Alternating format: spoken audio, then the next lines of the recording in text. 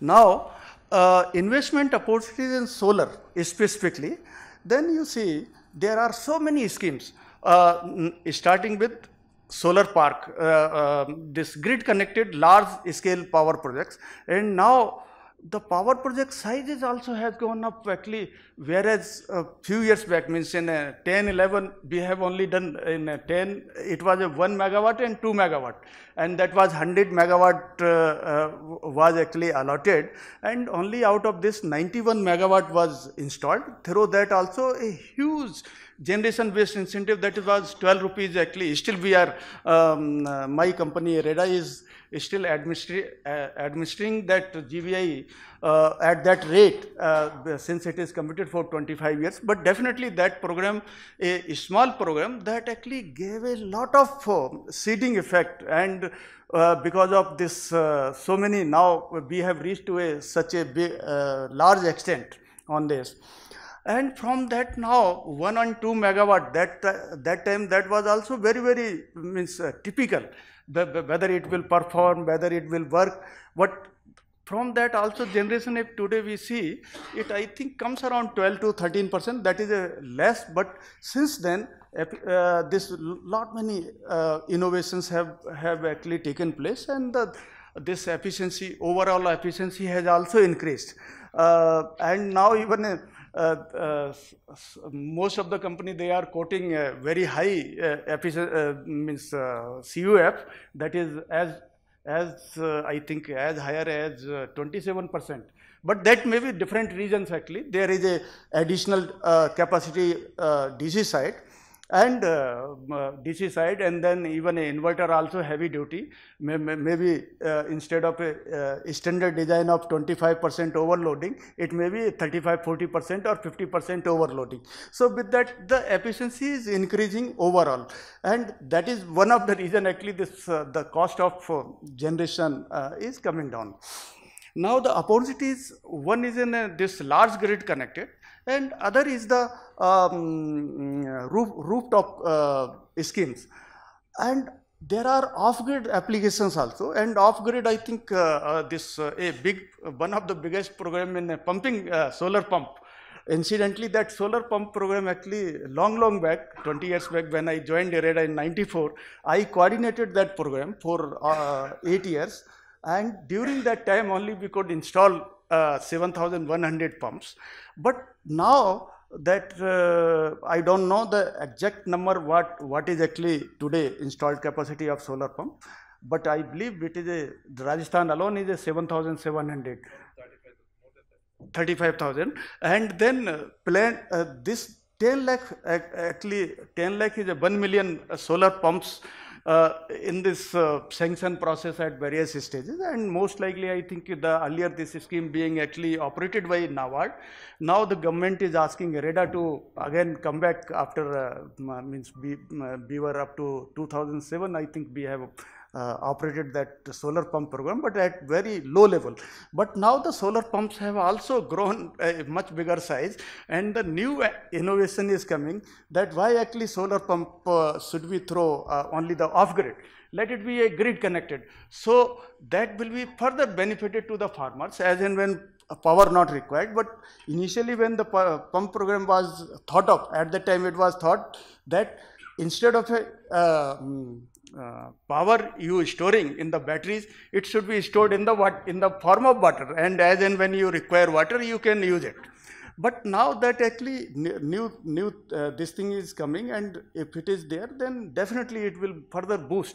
And the pump program is very much beneficial to the um, state government because now state government is subsidizing uh, uh this uh, solar this diesel pumps or electric pump and electric pump that we know there is a loss, uh, loss of uh, generation uh, means transmission loss and so many loss and all goes into the farmer's account.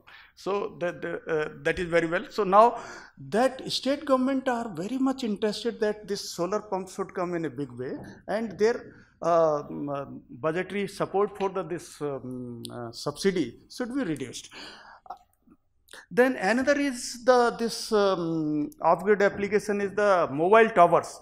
There are lakhs of mobile towers throughout the country and that actually towers can also be charged. In fact, uh, we have also sanctioned a project of 600 uh, towers uh, in the state of UP and out of that uh, four, around 400 have already been completed. And this is really one of the good application.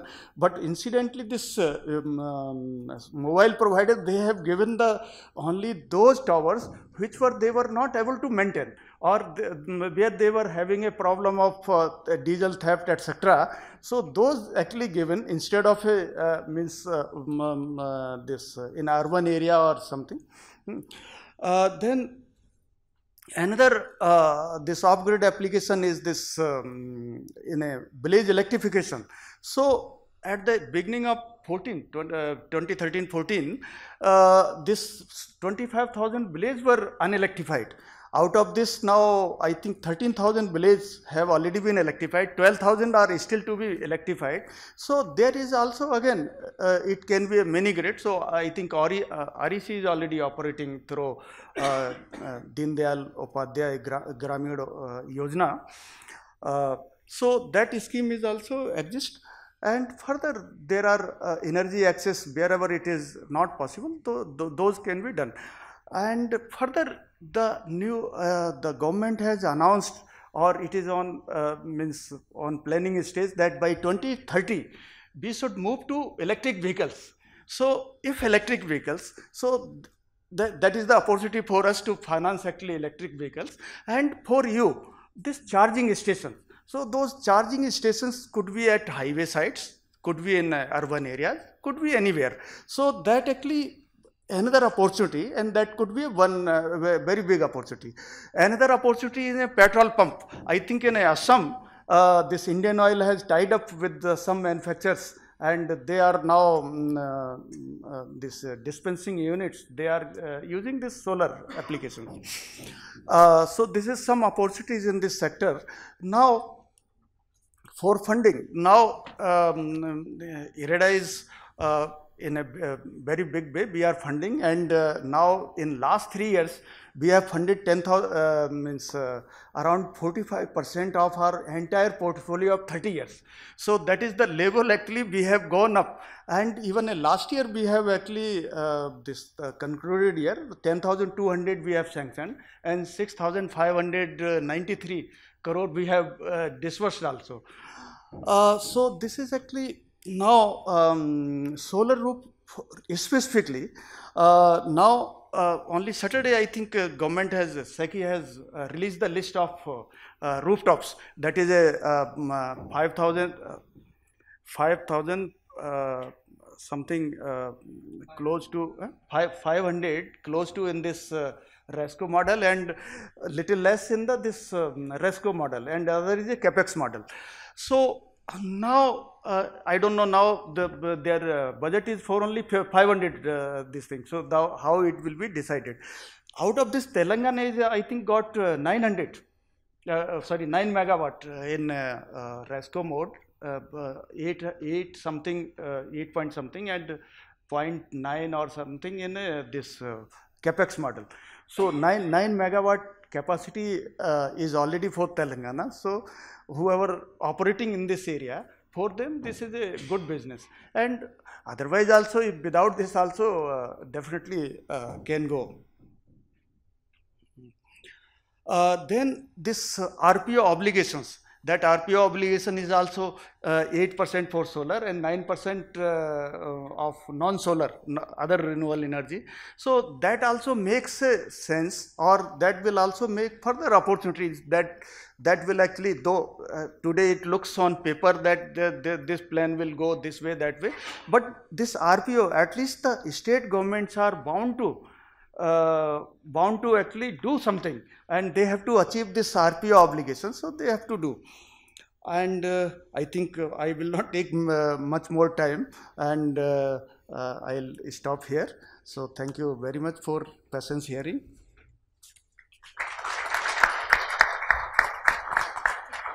area. for them this is a good business. And otherwise also without this also definitely can go.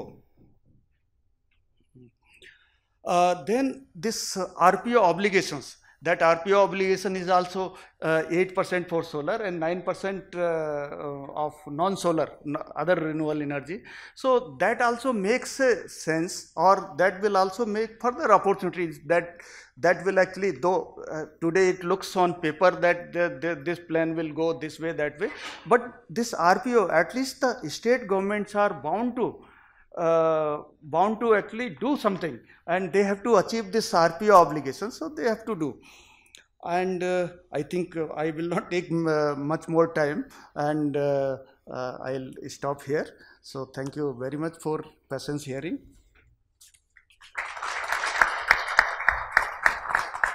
So what is important for me when I was hearing this speech that he have put in past, future, and the present perspective, not only in terms of finance, but also in the terms of growth, how the things will appear. And I'm sure 33 percentage when it comes to the overall sharing of uh, renewable energy in the in, in all the context, all the power economics context, the current prices will definitely drive much more higher percentage sharing than envisaged. And I am sure that IREDA is going to, uh, institutions like IREDA, when they come into financing for the renewable energy sector, it's self-representation of the faith of the finance industry in the sector. So with this, I uh, invite uh, Mr. Yeah. I, I forgot to mention one thing yeah. that actually IREDA has envisaged this uh, 1000 megawatt tender of SECI and we are actually, uh, if uh, whoever has participated this, uh, they must be aware that there is a clause relating to this finance available from uh, IREDA. So IREDA has decided to give a 0.15 percent uh, mm, rebate on interest rate, existing interest rate, that is a between 9.75 to uh, 10, 10.75. So 0.15 will be reduced. And another is also that if some uh, developers want loan through a bank guarantee, so then margin for bank guarantee also can be added. So these two, two, two things are very important. Which is in the same line that nowadays, when we look back around seven years back, it was highly on the performance testing. But right now, solar have moved to a stage wherein we have performance data available and now financial institutions are actually taking a bet on this sector, which is a welcoming step.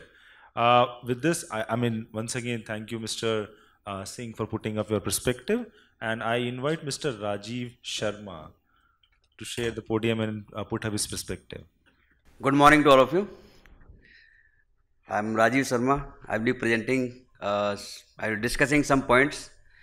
Uh, we have seen the government policy, state government level and central government level policies, very aggressive, very positive note from all the angles. Government is formulating policy, industries are coming up forward and they're joining hands to government and implementing policies. Results we can see, whatever government decided and industries able to deliver it. And now comes to sustainability and performance. But this is a great challenge now as uh, Professor Singh Sir was telling that tariff has gone down, solar 2.42, wind is 3.46. Now, is it sustainable or further there is chances of further reduction that we need to consider. First of all, these plants which are being awarded 2.42, this yet to perform.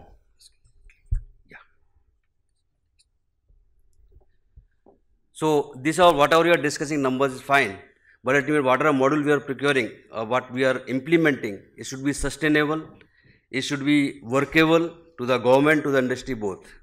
Because both has to join together, government agencies plus industries, to make this system implementable and workable. Without this support is not possible. Because now we are putting a lot of plants in solar, wind all across, aggressive plants. But parallelly infrastructure has to be developed for grid connectivity, creation of load. Some uh, sometimes we, we face problem. Uh, you have to shut down your plants because we don't uh, need your load. We don't need power. So the number which are aggressive numbers are put in by the industries to get the bidding numbers. These all they are not considered that my plant will be shut down for so many days or so many hours in a day.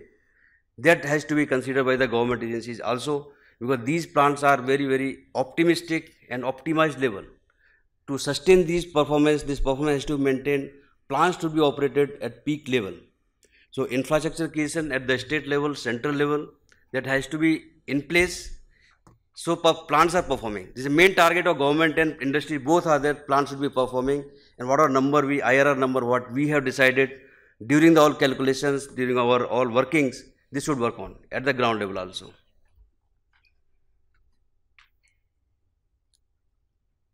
I represent Mytrah Energy. Is a, we are operating currently one 1.01 gigawatt wind power, and we are developing 480 megawatt solar plants. Currently, uh, 60 megawatt we have commissioned in Punjab, and almost 50 megawatt in Telangana. Remaining plants are under commissioning and final stage of commissioning.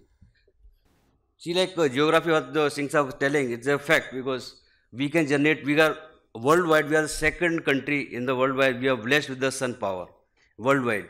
India is getting solar index 64 other than USA. So we have many sunny days compared to all worldwide. In 365 days, we have 360, 300 sunny days in India average all across. So this is a high number of sunny days we have generation is available to us from solar power. And this only Rajasthan state, if you implement solar power, what barren land, what we have, it can create up to 750 gigawatt power only from one state. That potential we have in India. So solar power has huge potential, there's no doubt. Only thing is that we have to work together, ensure this industry is growing, sustaining and performing its achievements. So currently this what uh, Singh was telling number is uh, almost 45 uh, 50,000 unit from uh, 50,000 megawatt from renewable energy which has increased to 57 correct? Every day every month we are adding some power. So our target for wind this year may not be achieved because uh, bidding process started, so it will be slightly delayed current year, but next year wind also will pick up just like solar. But this year solar doing very well, lot of biddings are coming, SECI bid, state bids, a lot of bids are coming, people are participating and being implemented. You can see the growth of solar energy. Last year was 16 was very fantastic year for growth for everybody all participated state by central policy, state policy, due to all support, industry support, growth was very, very high. And this year expected better than last year performance. So like 20, 2022 target for 100 gigawatt is achievable, no doubt. And one more thing, today we came to another 20,000 uh, megawatts shifted from rooftop to grid connected. It's a good news for uh, solar park developers because rooftop certainly because the number of uh, quantity are very, very, quantities more, uh, but uh, megawatt installed is very less. So these are distributed. But solar parks are being developed by the state government or central government is a very good idea, no doubt, because infrastructure cost is shared, which is sustainable. So a lot of uh, disturbances in the operating plant, for example, load sharing activities or any local issues or your uh, operating cost, that is optimized. So that helps in sustaining your plant performance. See, these are some of the steps which we are putting a lot of plants and uh, scattered and all, all across the rural area, somewhere, uh, solar park. We are, we, our exposure is everywhere in the market, correct? Because earlier solar plant was there 5 megawatt, 10 megawatt, now we have 50 megawatt, 100 megawatt, or solar park 500 megawatt, 1 gigawatt. So size increasing. So we have exposure to other societies, villages, nearby villages, near town. We have exposure. That need to be maintained properly relation need to be built up and that is required to operate your plant in good environment. Because if you don't maintain good relations ultimately with the society with government or with the local authorities then you are going to be suffer in a lot. So while all these things uh, like we have three points which plant could be able to sustain. Was a government policy which are already in place. Second execution of the plant which are happening very good way.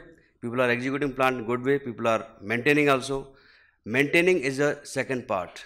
If you are not able to maintain your plant as per your performance parameters, then whatever number you have proposed, whatever number you are delivering, it may not match your expectation or your returns. So to ensure that your plants are performing better what you have expected, for that you need a good quality contractors, those who can deliver performance, not only just cleaning module there are many many things need to be done technical evaluation has to be done, plant efficiency need to be improved either through thermography, through drone inspection, or the model degradation, or a monitoring system. It should be such that you should be able to add some value day by day. Every day you are generating something extra. Then you are doing some effective O&M. Not only O&M, we have to very efficient O&M we have to plan. For that we need to shortlist a contractor who can do good job for you. Not rate of the contractor because we can get many contractors, uh, very few numbers, hardly 10-15% difference. But year quantum what difference you get, maybe 30-40%, you can't imagine also. So these are some uh, maintenance these are done, the all uh, companies are doing the predefined maintenance recommended by the inverter suppliers, module suppliers.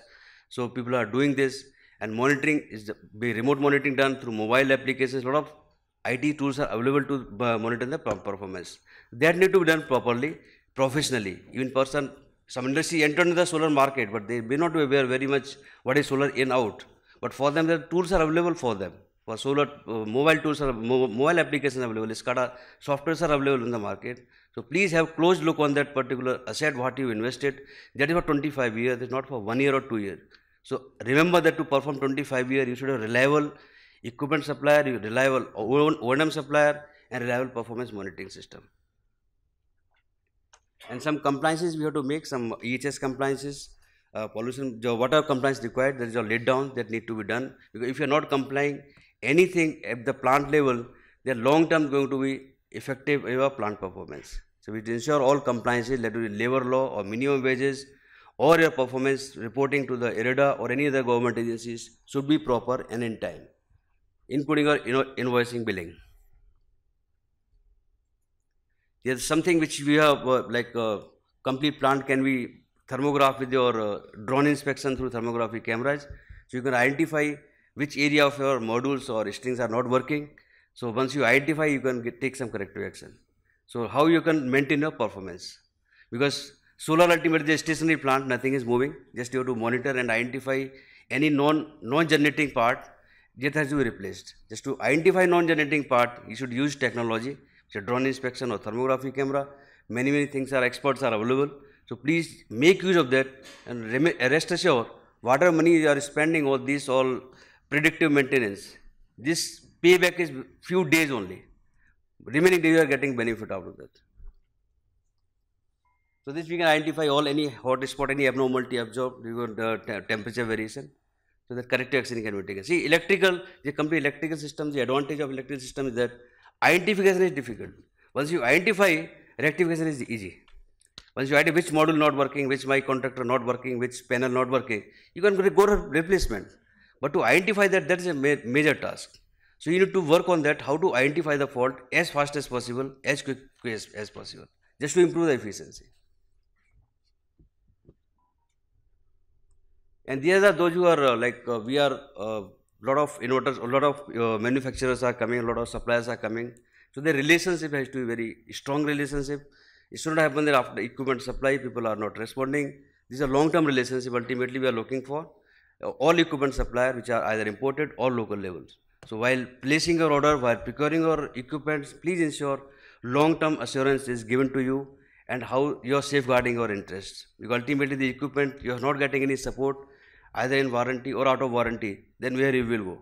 So there shall be additional cost which need to be taken care. So this while deciding this not only price of the equipment, this is the reliability and the service support of the equipment because this plant going to run for 25 years, not for up to commissioning only.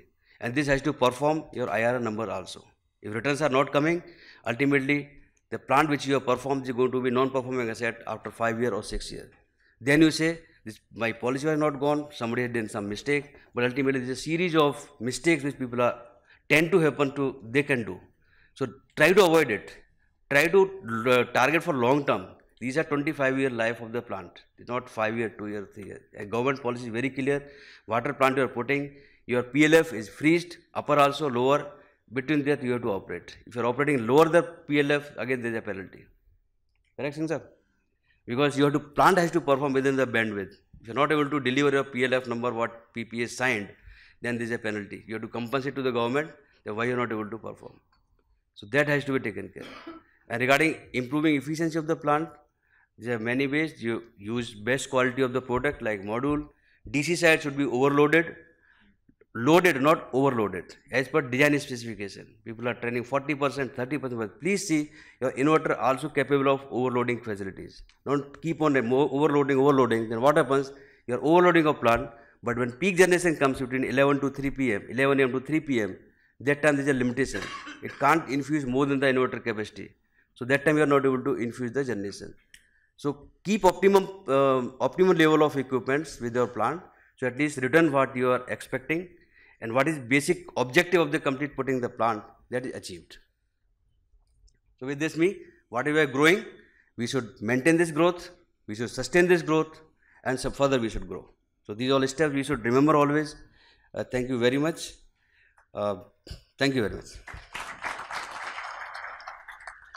So a stitch in time saves nine. I think I should summarize this presentation in this way. So thank you, thank you, Mr. Sharma, for putting up this way.